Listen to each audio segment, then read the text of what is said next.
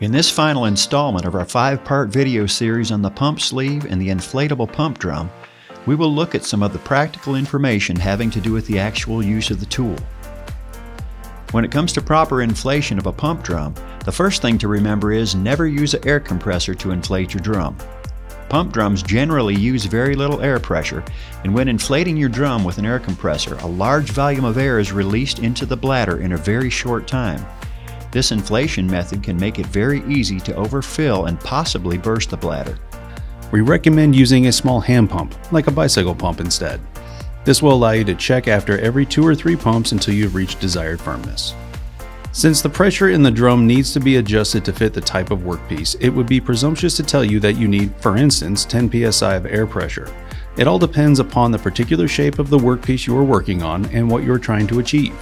Just feel the firmness of the drum to determine whether that amount of air pressure is right for your application. As a rule, low air pressure allows for better conformability and higher air pressure attains the opposite result. So Nick, could you tell me about pressure on the workpiece while sanding? To achieve the best result from your inflatable pump drum sander, it will require the best combination of bladder pressure and pressure put on the workpiece while sanding. Too little pressure on the workpiece will not allow the sander to conform to the contour and will not allow the abrasive to cut as it should. Too much pressure will cause the abrasive to cut too deeply.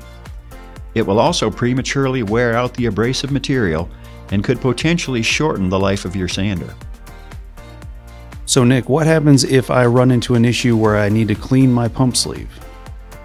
There are many different oils and resins in wood that can affect the life of a coated abrasive. During heavy use, the abrasive begins to heat up, causing the resins to become more liquid and gather on the abrasive grains. This is known as loading. Cleaning sticks work like large abrasive erasers that clean most of the loading from your pump sleeves and, in essence, bring them back to life.